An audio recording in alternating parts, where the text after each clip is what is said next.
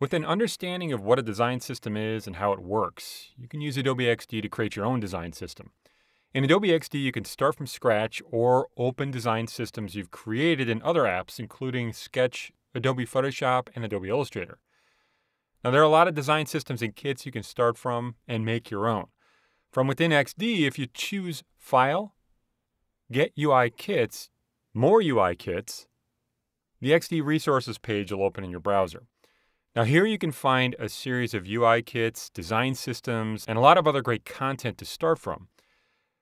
If you click UI kits here, you can see some like Google Material Design, which is a system of guidelines, components, and tools that support the best practices of user interface design. There's also a design system starting point here that you can download and start with. Now, if I download the Material Design Kit, after downloading it, I can open it up and it reveals all of the UI elements you can use when you're designing for the Google ecosystem. You can see typography and colors, shapes, icons, and a lot more.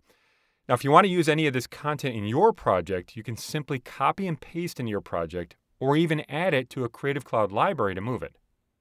Now, using content from existing XD docs is easy, but say you have a design system you've created or you've gotten from someone else that was created in Sketch. You can see this carbon design kit from IBM that I'd like to open, but it's in a sketch format. In XD, I'll choose File, Open from your computer since it's saved locally and not as a cloud document.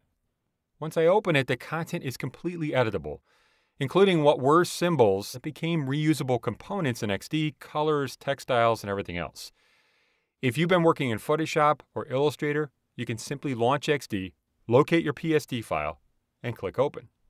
Your design will automatically convert to an XD file. So no matter if you start from scratch or an existing design system from another tool, XD makes it easy to get started.